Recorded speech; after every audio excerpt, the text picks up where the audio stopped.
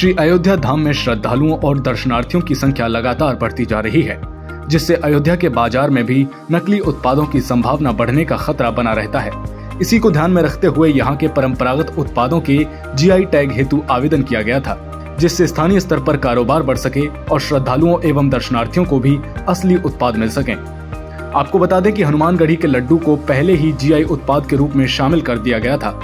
अब इसी क्रम में गुड़, खुरचन पेड़ा, चंदन टीका और खड़ाओं को भी जीआई उत्पाद में शामिल किया जाएगा। आपकी जानकारी के लिए बता दें कि काशी निवासी जीआई विशेषज्ञ पद्मश्री रजनीकांत ने इन उत्पादों को ओडीओपी में शामिल करने के लिए जीआई रजिस्ट्री चेन्नई में आवेदन किया था। यह आवेदन जीआई रजिस्ट्री चेन्नई ने स्वीकार कर लिया है। रजनीकांत ने बताया कि तकनीकी और कानूनी प्रक्रिया के तहत पाँचों जीआई आवेदन स्वीकार हो गए हैं।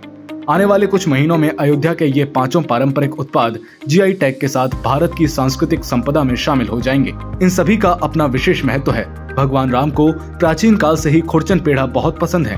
प्रारंभ से ही मंदिर में इसी प्रसाद का भोग लगता रहा है। इसी प्रकार अयोध्या में बारह से अधिक तरीकों से चंदन टीका तैयार होता है। इसे सभी धर्म और संप्रदायों के लोग अपनी अपनी परंपरा के अनुसार उपयोग करते रहे हैं।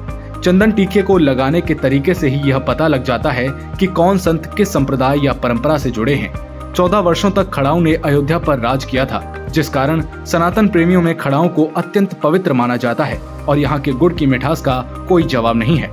इस गुड़ में यहाँ की जलवायु और सरयू के पानी का काफ़ी असर होता है। कहना गलत नहीं होगा कि जीआई आवेदन स्वीकार होने के बाद अयोध्या के मूल उत्पाद अब पूरे विश्व में गर्व के साथ पहुँचेंगे।